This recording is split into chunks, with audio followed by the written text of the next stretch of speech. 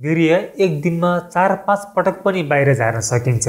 तर महिनौसम्म वर्षौसम्म नझार्दा पनि त्यो वीर्य कहाँ जान्छ? र के भइरहेको हुन्छ? नमस्ते अनि हार्दिक हार्दिक स्वागत छ तपाईँलाई यो मेरो हेल्थ युट्युब च्यानलमा। आज म कुरा गर्दैछु छोरा मान्छेको शरीरमा वीर्य उत्पादन हुनु भनेको एउटा रेगुलर प्रोसेस हो जुन सधैँ उत्पादन भइरहेको हुन्छ कहिले पनि रोकिँदैन। पुरुषको अण्डकोशमा वीर्य जहिले पनि हरेक दिन उत्पादन भइराखेको हुन्छ कहिले पनि उत्पादन बन्द हुँदैन।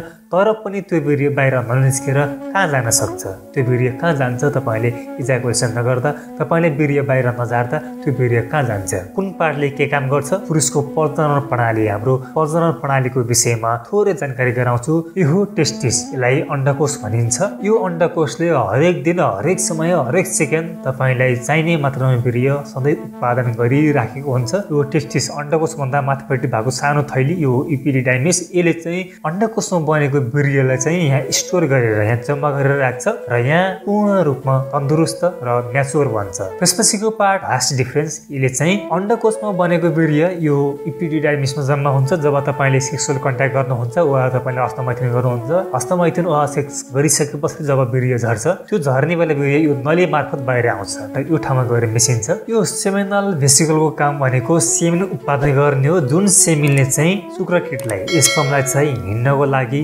पौडिनको लागि सजिलो बनाउँछ र स्पमलाई चाहिने पर्याप्त मात्रामा खाना बाँच्नको लागि जिउँदो रहनको लागि खाना प्रदान गर्ने काम पनि यही सेमेनले गरेको हुन्छ। जुन सिमेन्ट चाहिँ यो सिमाइनल बेसिकलबाट बाहिर आएको हुन्छ। त्यसमा वीर्य बन्यो।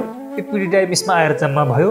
त्यसपछि वीर्य बाहिर आउँदाखेरि यो भास डिफ्रेन्स नली मार्फत बाहिर आउँछ र यहाँ आइसकेपछि यो सेमनल भेसिकलबाट यो थैलीबाट चाहिँ सेमिन निस्कन्छ र वीर्यसँग मिक्स भएर आउँछ। यो सेमिनले के गर्छ? वीर्यलाई पौडिन अगाडि बढ्न र वीर्यलाई चाहिने पर्याप्त मात्रामा खाना पनि यही सेमिनले दिन्छ जसले गर्दा वीर्य योनिमा तिनदेखि चार दिनसम्म जिउँदै बाँचेर रहन सक्छ। यो डल्लो हो प्रोस्टेट पुरुषहरू बुढेसकाल लागिसकेपछि यही प्रोस्टेट बढेको कारणले पिसाब फेर्न गाह्रो हुने पिसाब बन्द हुने समस्या आउँछ। जवानी अवस्थामा यो पुरुषले एउटा चिप्लो पदार्थ निकाल्छ जुन चिप्लो पदार्थले महिलाको योनिमा एउटा दही जस्तो एसिड हुन्छ त्यो एसिडलाई बन्द गरेर निस्तेज गरेर वीर्य मर्नबाट जोगाउँछ। त्यसपछि एउटा अर्को ग्रन्थि छ त्यसको एकदमै महत्त्वपूर्ण काम छ त्यसको नाम हो बल्बो युरेथ्रल ग्ल्यान्ड। यो ग्रन्थीको काम के हो भने तपाईँ पहिला शेष गर्नुभन्दा पहिला वा तपाईँ उत्तेजनामा आउँदाखेरि तपाईँको लिङ्गबाट एउटा चिप्लो पदार्थ चिप्लो पानी निस्केको हुन्छ।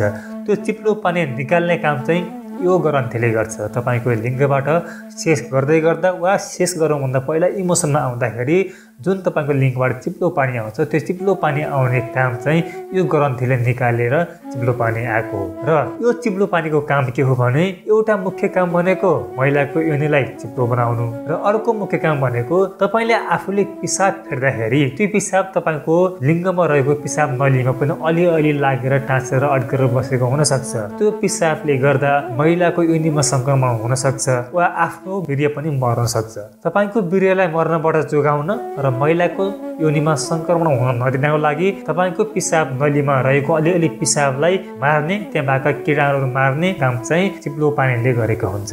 अन्तिममा इम्पोर्टेन्ट एकदमै महत्त्वपूर्ण कुरातिर जाऊँ। दिनमा चार पाँच पटक सेस गर्दा वा हस्तमैथुन गर्दा पनि वीर्यलाई सजिलै बाहिर निकाल्न सकिन्छ अथवा वीर्य बाहिर झर्छ। तर महिनौसम्म वर्षौसम्म वीर्य बाहिर नझार्दा त्यो वीर्य कहाँ जान्छ? त्यो वीर्य हरेक दिन उत्पादन भएको हुन्छ।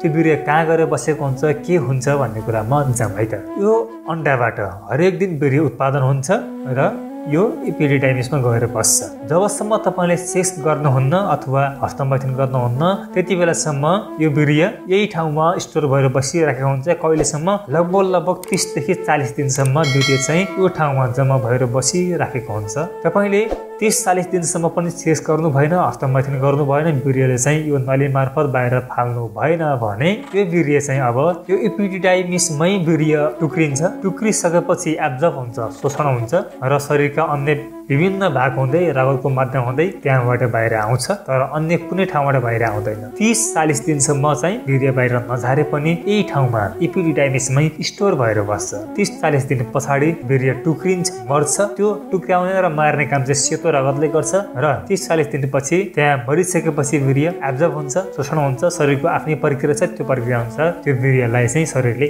बाहिर निकाल्छ। लामो समयसम्म वीर्य बाहिर नफाल्दा पनि केही असर हुँदैन शरीरको आफ्नै प्रक्रिया अनुसार त्यो बाहिर जान्छ र तपाईँ दिनमा चार पाँच पटक वीर्य बाहिर फाल्दा पनि केही असर हुँदैन। शरीरको आफ्नै प्रक्रिया छ। अन्डकोषले आफ्नै तरिकाले वीर्य उत्पादन गरिराखेको हुन्छ। फरक यति हो तपाईँले पहिलो पटक फाल्दाखेरि एकदम बाक्लो आउँछ त्यसमा वीर्यको मात्रा पनि धेरै हुन्छ सिमेन्टको मात्रा पनि धेरै हुन्छ। त्यसपछि तपाईँले जति धेरै पटक वीर्य बाहिर फाल्नुहुन्छ त्यति धेरै पटक चाहिँ वीर्यको मात्रा चाहिँ घट्दै जान्छ र सिमेन्टको मात्रा घट्दै जान्छ र तपाईँको वीर्य चाहिँ बाक्लो नभएर पातलो आउँछ र सेतो नभएर पानी जस्तो पनि आउन सक्छ। तपाईँलाई यो भिडियो कस्तो लाग्यो? भिडियो मन परेमा कृपया लाइक कमेन्ट र धेरैभन्दा धेरै सेयर गर्नुहोला र हाम्रो च्यानललाई सब्सक्राइब गरेर साथ दिनुहोला ताकि आउने अन्य राम्रो राम्रो भिडियोहरू तपाईँको माझमा सजिलै आइपुगोस्। हस् धन्यवाद।